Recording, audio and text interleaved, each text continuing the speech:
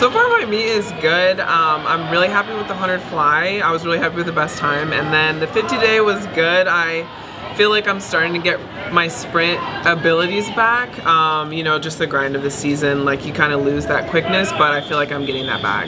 Yeah, so in the morning, Jack was like, we have to really be on it in the morning, so I was really focused on winning my heat. Um, I was really happy with the 9.2. That's my fastest uh, at that point this season.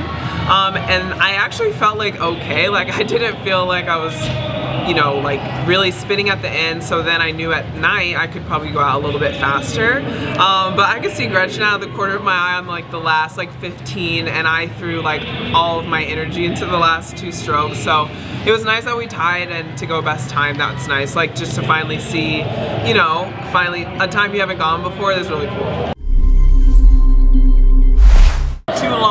It's been like yeah, it was supposed to be two years and now it's, I'm in my third year.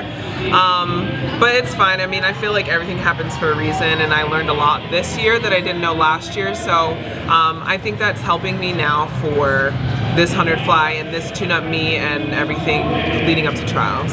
I don't know, I feel kind of calm, more calm than I thought I would. Um, yeah, this is a tune-up meet and you want everything to kind of come together at this meet so you can have the confidence to go to trials with.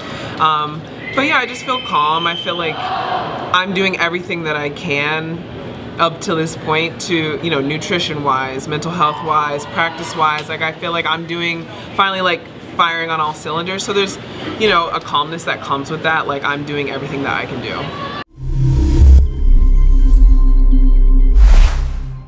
Honestly, when I think of the future, I just see black. I don't really know where I will be and what I'll be doing, but I, I love swimming. I think um, with ISL, like that just gives another dimension to the sport. Um, so yeah, I do want to keep swimming. I'll see what happens this summer. Like I haven't made any plans because um, you never know what can happen at trials and um, I'm planning on swimming fast there, so we'll see what happens.